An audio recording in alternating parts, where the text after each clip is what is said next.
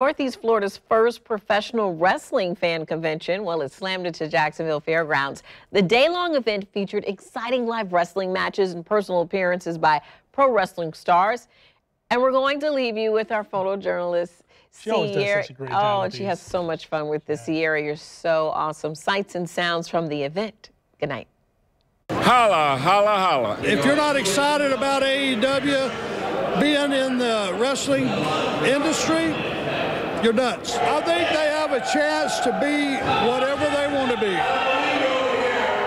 They're new, they're fresh, they have fresh leadership, ownership, and they've got a lot of talent. I think it's so great. I was so excited when they announced they were doing this and they were bringing everybody in, and I think it's so great for Jacksonville to do things like this. Florida has always been a stronghold for wrestling. I mean, going back to the days of Dusty Rhodes, the American Dream. I've grown up here. I mean, wrestling's been a big part of this community for as long as I can remember.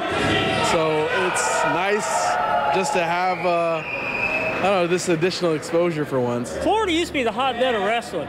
You know, I remember being a kid watching Gordon Solie every Sunday. You know, it was great. I mean, you pay the price. You know, your body, my body's beat up, but can't sing and I can't dance, so.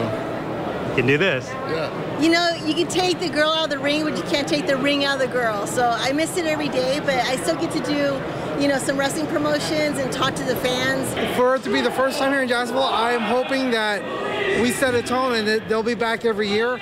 This is these are like the guys I grew up watching.